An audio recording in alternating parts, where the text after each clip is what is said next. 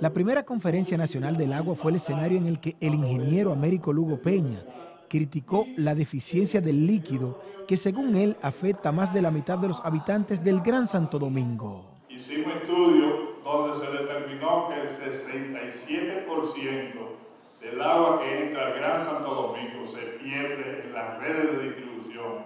No podemos negar que tenemos prácticamente el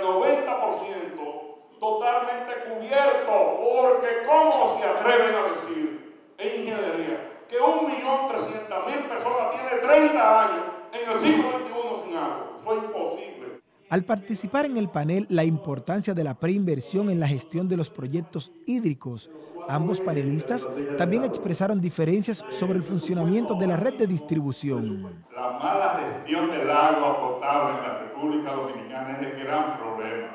Aquí no hay problema de sequía. Aquí hay agua más que suficiente para el doble de la población. ¿Cómo no podemos tener la conciencia necesaria y suficiente de reconocer que hay una sequía Valle? Es una falta de sentido común. Por eso le dije que se quedara. Tenemos una sequía desde agosto, por Dios, del año pasado, que nos embarga y nos afecta. Otro inconveniente que genera sequía de acuerdo a algunos ingenieros que participaron en el panel es que no se invierte dinero suficiente en el sector agua. Lo fundamental es que se deben hacer las inversiones de lugar en el almacenamiento y regulación de las corrientes superficiales.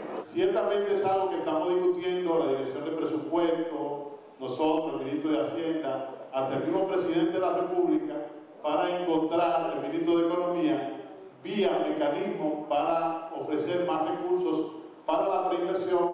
El evento relacionado con el agua fue organizado por el Ministerio de Economía, Planificación y Desarrollo a propósito del Día Internacional del Líquido y en momentos en que el país vive una sequía que afecta varios renglones de la producción nacional.